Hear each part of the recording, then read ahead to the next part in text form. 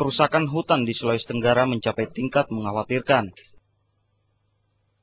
Berdasarkan data Departemen Kehutanan 7 tahun lalu, di tahun 1985 luas wilayah Sulawesi Tenggara adalah 3,5 juta hektar lebih.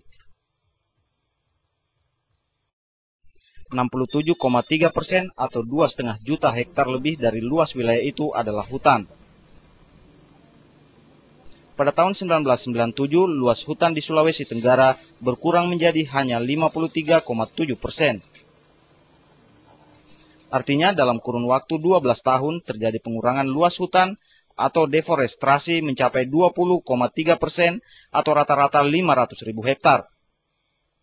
Setiap tahunnya hutan di Sultra berkurang sebesar 1,9 persen.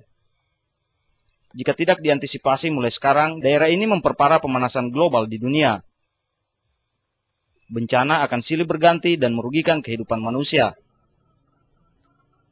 Martin Haris, Firdaus, KTV.